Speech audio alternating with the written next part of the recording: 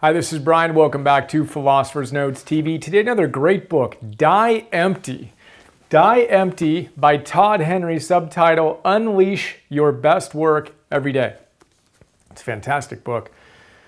Philosopher's Note, bunch of big ideas. We've got five of my favorites here. This book reminds me of kind of a mix of Steven Pressfield's War of Art, Do the Work, Turning Pro, Chris Guillebeau's The Happiness of Pursuit, and a little Spartan Up.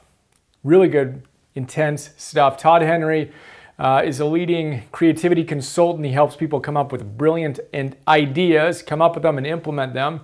And uh, he wrote another book called The Accidental Creative, runs a business doing that. Uh, lots of smart, practical, well thought out exercises and kind of models through which you can figure out your purpose and how you're going to die empty. So, first big idea who do you need to be if you want to die empty? Creating a body of work over your lifetime that you're proud of. He uses that phrase a lot throughout the book. I love that. Creating a body of work that you're proud of at the end of your life. And you can ask yourself during the day is what I'm doing right now and how much of what I did today is work that I'm going to be proud of? It's a really cool question. So, the developer is the one we want to become. The developer integrates three different aspects of getting stuff done. This is one of the models that Todd comes back to. There, there is mapping, there's making, and there's what Todd calls meshing. Mapping, making, and meshing. So the developer integrates these three things. Mapping is basically having a clear sense of your vision where you're headed. Making is doing the work. And meshing is growing. Right? So you need to know who you are, what your vision is, what your mission is, so you can choose your battles wisely. Then you need to show up and do the work. He uses another great phrase. You want to have urgency plus diligence. I don't know how many times he said that in the book, but it was a lot. Show up with urgency and diligence. Urgency and diligence. Isn't that a great phrase? That's what you do in the making phase. And then meshing is when you bring it all together and you invest in time to become a better person, basically, so you can take advantage of the opportunities that present themselves in the future. That's a developer. He gives other models that aren't the developer where one of these is missing, you can be a dreamer, you can be a driver, you can be a drifter. Check out the book for more. In the note, we talk about it a little bit more. But for now, know that you want to integrate mapping, making, and meshing. Think about what you're good at and what you're not so good at, and get clear. What's your vision? Are you showing up with urgency and diligence? And are you investing in growth? That's our first big idea. And the entire book, of course, is basically helping us become a developer. Second big idea is a really cool one as well mediocrity. Mediocrity. I never knew this, but the root of the word mediocrity comes from two Latin words, medius and acris.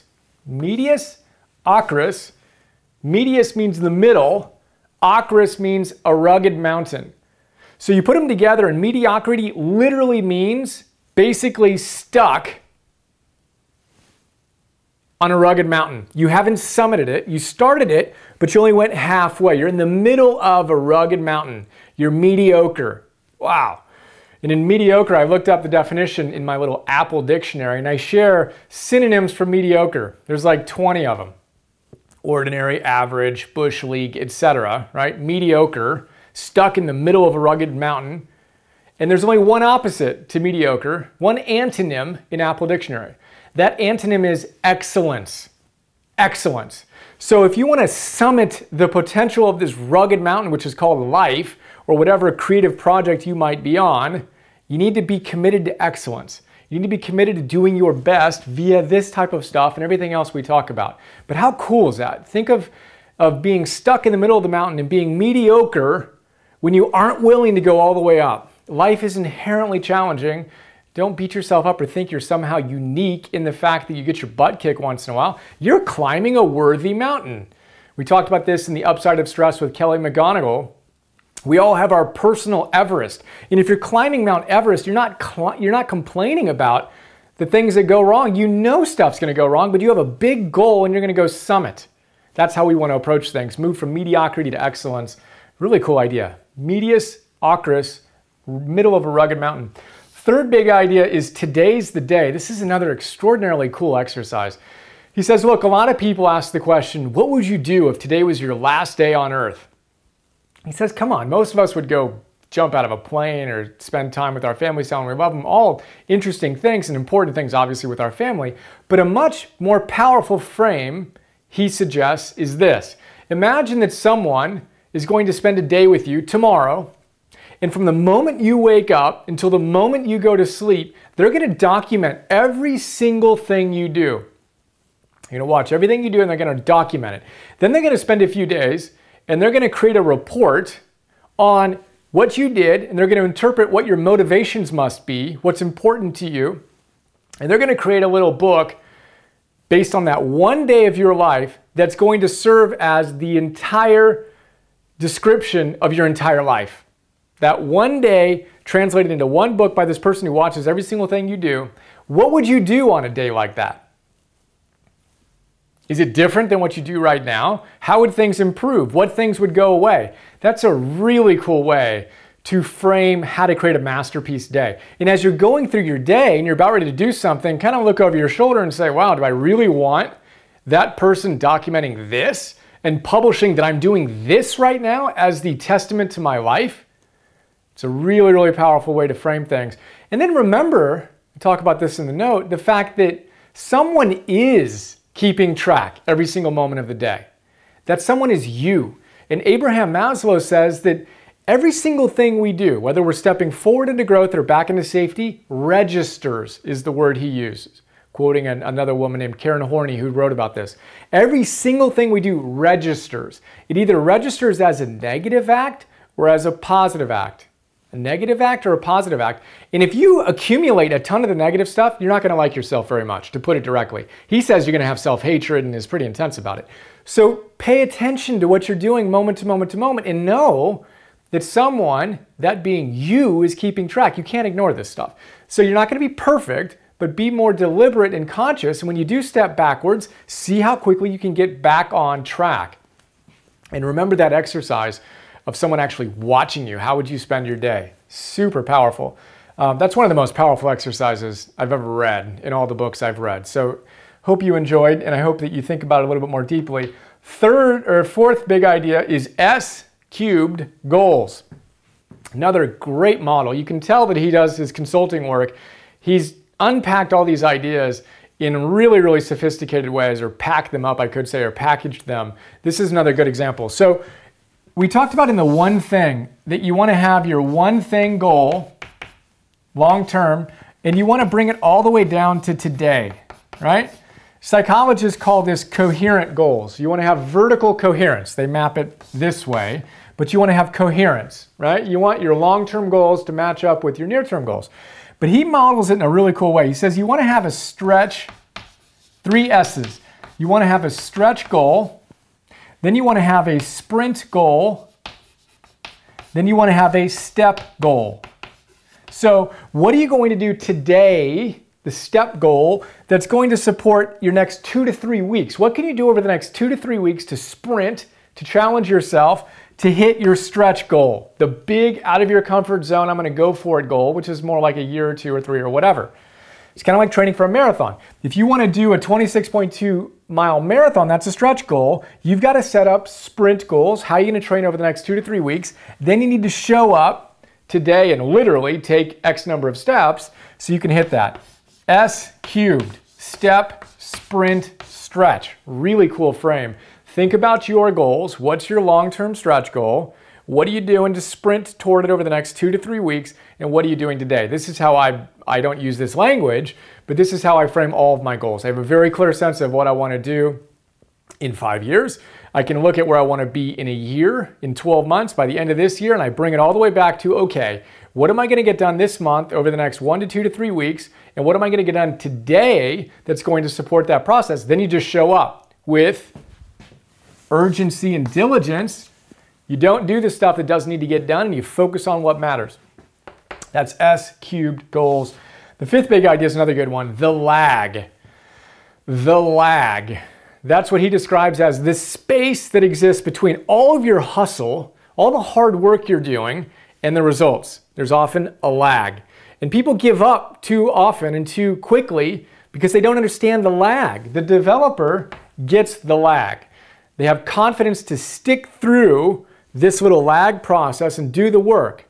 we need to remember to measure our time on horticultural time, not clock time. You can't be looking at your stopwatch in terms of achieving the things you want to achieve in your life. You start a new exercise program or nutrition approach or creative brainstorming or a business, you can't snap your fingers and expect that to be done in 17 seconds and whatever, right? You've got to actually do the work, realize there's going to be a lag, tend the work, continue to do the work, and then you reap your harvest. You don't plant and harvest. There's always a lag.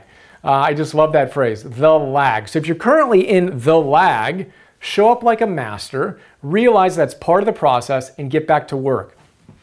Map it out, make it happen, and continue to grow, and you can position yourself to die empty.